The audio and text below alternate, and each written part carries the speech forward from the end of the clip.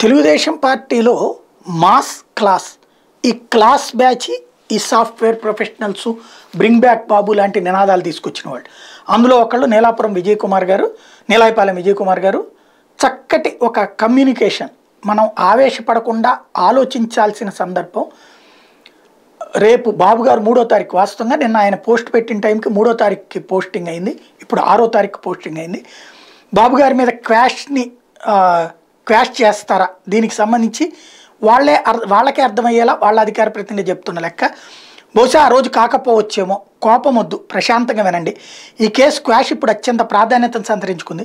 చంద్రబాబు పరంగానే కాదు దేశవ్యాప్తంగా పలు కేసులు ఈ కేసులో సుప్రీంకోర్టు తీర్పు మీద ప్రభావం చూపెడతాయి. తీర్పు వలన ప్రభావితం చూపు అవుతాయి.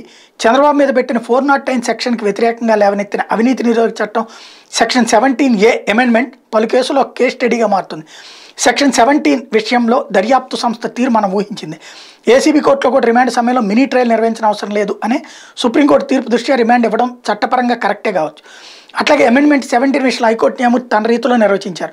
చంద్రబాబు ఇచ్చిన అనుమతులు చిత్తశుద్ధితో లేవని భావించినట్టు అందుకని సెవెంటీన్ ఆయనకు అప్లై కాదని పలు తీర్పులు ఉటంకిస్తూ జడ్జి చెప్పారు.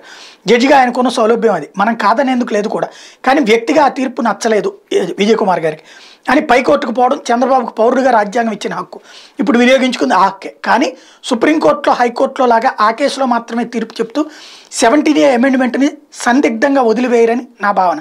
రెండు వేల పద్దెనిమిది తర్వాత ఎఫ్ఐఆర్ వేసిన కేసులో ఫోర్ నాట్ నైన్ సెక్షన్ పెట్టాలంటే ఆ వ్యక్తి పైన వారి అనుమతి కావాలని స్పష్టంగా తీర్పు ఉంది ఇదే ప్రధాన న్యాయమూర్తి ద్వారా అందువలన ఇదే ప్రధాన న్యాయమూర్తి ద్వారా. అందుమూలంగా రెండు వేల పద్దెనిమిది తర్వాత ఎఫ్ఐఆర్ ఫైల్ చేసిన అంతకుముందు ఆ కేసులో ఏదైనా ఇంటర్వెన్షన్స్ జరిగి ఉంటే కూడా అంటే ఇప్పటి కేసులో నీ వ్యక్తికి సంబంధం ఉన్నా లేకపోయినా సుప్రీంకోర్టు ఇచ్చిన సెవెంటీన్ ఏ అమెండ్మెంట్ చెల్లుతుంది లేదా చెల్లదు అనే విషయం మీద సుప్రీంకోర్టు స్పష్టం చేసి తీరాలి. ఎందుకంటే ఈ దేశంలో అదే అత్యున్నత కోర్టు కాబట్టి. భవిష్యత్తులో క్రిమినల్ బ్రీచ్ ఆఫ్ ట్రస్ట్ అనే చట్టం కింద దాక్కుని ఏ రాష్ట్ర ప్రభుత్వాలు కూడా తమ పొలిటికల్ ప్రత్యర్థుల మీద రివెంజ్ తీర్చుకోవడం కోసం ఆ చట్టాన్ని వాడుకోకూడదు అనే రెండు వేల పద్దెనిమిదిలో ఏ సెవెంటీన్ ఏ అమెండ్మెంట్ తెచ్చారు. కానీ ఇప్పుడు ఆ చట్టానికి అమెండ్మెంట్ ఉన్నా కూడా అమెండ్మెంట్కి రెండేళ్ళ ముందే ఈ ప్రాజెక్టులో ఎఫ్ఐఆర్ ఫైల్ చేయకపోయినా ఇతర వ్యక్తుల మీద కొంత దర్యాప్తు జరిగిందనే కారణంతో ఇప్పుడు కొత్తగా ఒక వ్యక్తిని ఎఫ్ఐఆర్లో చేర్చి ఆ చట్టాన్ని ఇంకా దుర్వినియోగం చేస్తున్న దృష్ట్యా పౌరుల మానవ హక్కులకు భంగం వాటిల్లకుండా ఉండాలంటే సుప్రీంకోర్టు ఈ కేసు చట్టాన్ని తిరగరాస్తూ అమెండ్మెంట్ చేయాల్సి వస్తుందేమో. ఇంత జరగాలంటే చాలా లోతైన సమీక్ష అవుతుందేమో. ఒకవేళ తీర్పు చంద్రబాబుకు వ్యతిరేకంగా వస్తే రెండు వేల పద్నాలుగు నుంచి చంద్రబాబు తీసుకున్న ప్రతి నిర్ణయం మీద కేసులు పెట్టచ్చు. ఇంకా మాట్లాడుతూ తొంభై ఐదు నుంచి కూడా తిరగదోడచ్చు.